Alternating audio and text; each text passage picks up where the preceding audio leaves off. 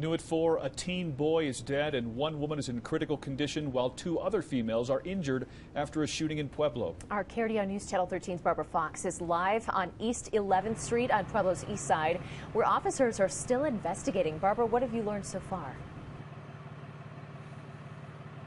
Heather, this is still very much an active scene right now, and as you can see, caution tape is actually lining this area, blocking off East 11th Street and Iola Avenue on the east side of the city. And we actually zoom in here, you can actually see investigators at that yellow home right there, currently looking into that home, and I've seen them climb up that ladder multiple times here. Yesterday, just before midnight, Pueblo police were called to the 1000th block of East 11th Street for a shooting.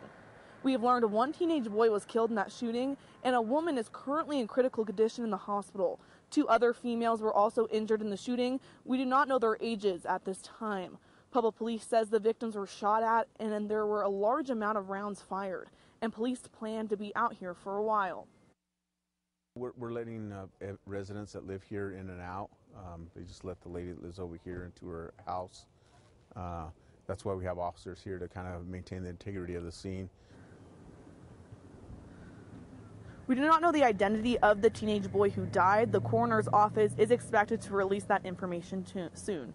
We're told that officers will be here until late this evening working with neighbors as they continue to investigate. Reporting live on Pueblo's east side, Barbara Fox, KRDO, News Channel 13.